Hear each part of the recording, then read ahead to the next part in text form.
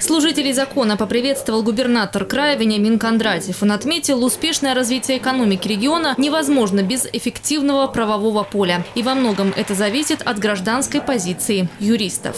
У одних в основе лежит э, в их действиях соблюдение закона, а у других возможность заработать.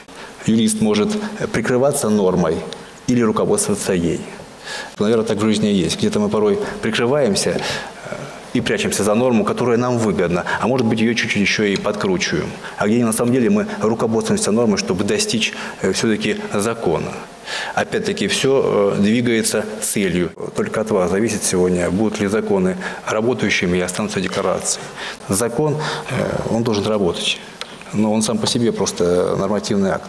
А насколько он будет применим, это ваша зона ответственности. Также, по мнению губернатора Кубани, необходимо уделять особое внимание качеству образования, чтобы молодые специалисты были юристами не на бумаге, а на деле.